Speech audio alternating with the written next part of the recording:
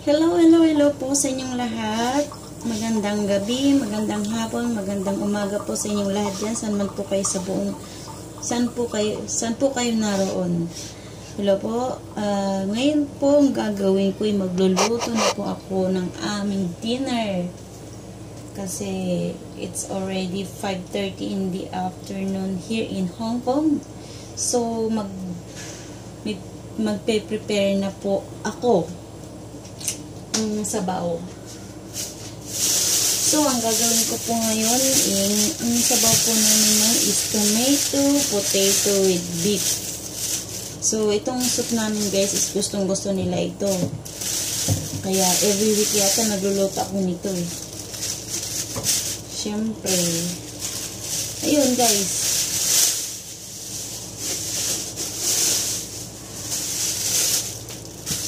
Gustong gusto na kas, nila kasi ito guys kasi healthy siya. May protein tsaka fiber itong potato. Kaya sa mga nagda-diet dyan daw. Ay, hindi, hindi daw yata pang pa-diet to. eh. Ito yung pampataba din. Basta nasa lupa daw na, tina, sa lupa tinatanim. Yung mga ano nasa lupa. Yun yung mga nakakataba daw lalo. Kaya, yung ako, sa mga nagda-diet dyan. ako hindi ako nagda-diet eh, kasi sarap kumain guys. Sarap pang, sarap kumain habang may makain, kakain. Pero tingnan natin yung health natin. Kasi, kahit nga tayo ng kain, pero yung mga nakukuha nating benefit sa pagkain, hindi maganda sa katawan natin, hindi po ba? Ako, kahit mataba ako, healthy ako guys. Healthy, healthy. So, guys, magsisimula na akong magluto. Kung sasamahan niyo po ako sa aking pagluluto. Yan.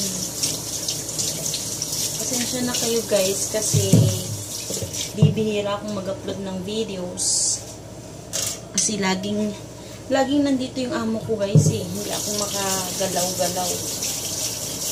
So ito naga uh, babalik ako ng patatas. This is what we call potato. Easy no? Potato, tomato, and, and beef soup. So, I'm gonna, I will show you later guys. Picturean ko tapos i-ano ko na lang sa link. Yung mga recipes. Kayo siya guys sa mukha ko kasi ganito yung mukha ko sa bahay. Walang make-up. Siyempre, diba? Walang make-up. Walang arte sa mukha. Kailangan nating siyempre, nasa bahay tayo. Kahit paano naman, kahit na wala kayong make-up, maligo naman tayo. Diba? Sure. Ayan, guys. Medyo matagal-tagal tayo magbabalap ito kasi.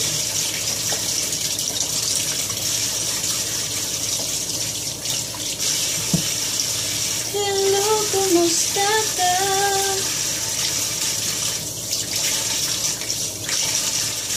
Alaga ko guys gustong gusto niya na ito eh. Si ang babae, ang lalaki, ganun lahat dito gustong gusto namin lahat very healthy siya. Nilalagay ko lang sa asin at saka kaunting asukal. Hindi pwede ang ano, yun po, yung hindi pwede yung chicken powder kasi hindi maganda rin sa health yun. Minsan gumagamit ako pero yung sakto kailangan lang talaga.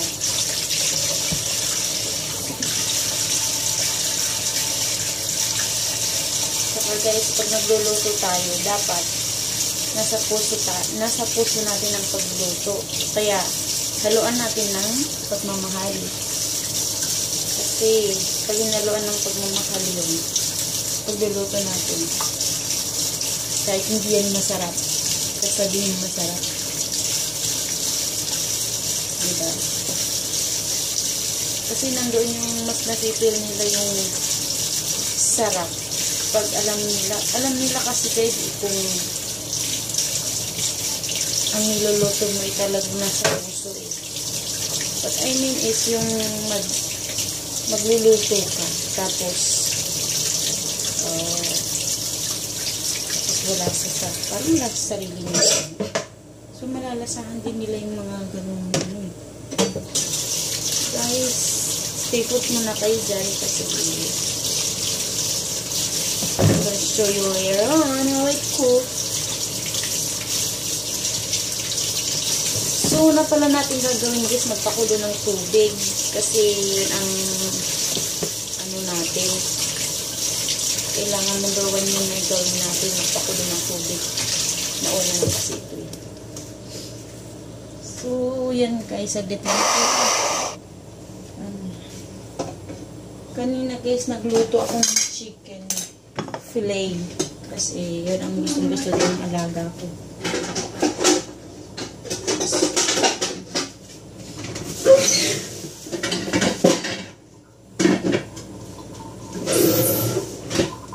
Ano ba yung buhay ng isang OFW?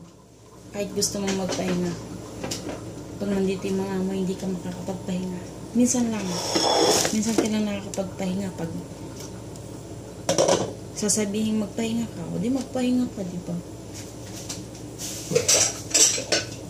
Pero minsan hindi rin. Lalo na pag may mga bisita. Hindi ka pwedeng magpahinga. Kaya sa mga katulad kong OFW dyan, fight-fight lang. Kaya natin to.